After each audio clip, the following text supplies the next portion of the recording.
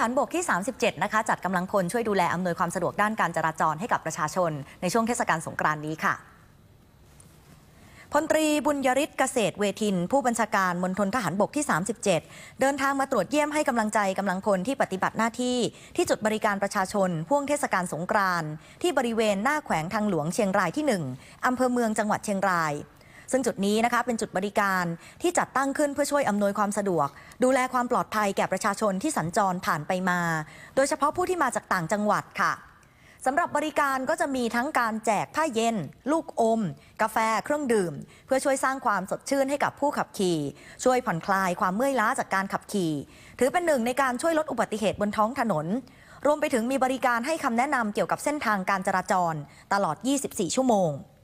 โดยเน้นย้ำกำลังพลช่วยดูแลอำนวยความสะดวกให้กับประชาชนอย่างเต็มที่ พร้อมทั้งต้องช่วยกันสอดส่องดูแลเรื่องของยาเสพติดอย่างเข้มงวดด้วย เพราะอาจจะมีการฉกฉวยโอกาส ลักลอบลำเลียงยาเสพติด ในช่วงเทศกาลที่มีคนเดินทางกันเป็นจำนวนมากค่ะ